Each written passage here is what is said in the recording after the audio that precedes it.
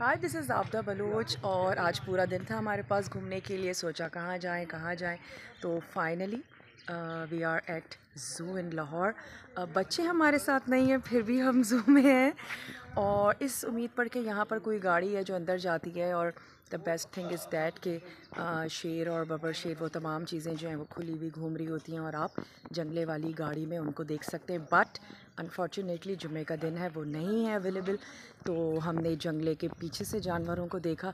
बिल्कुल अच्छा नहीं लग रहा था और शेर भी काफ़ी उदास लग रहा था।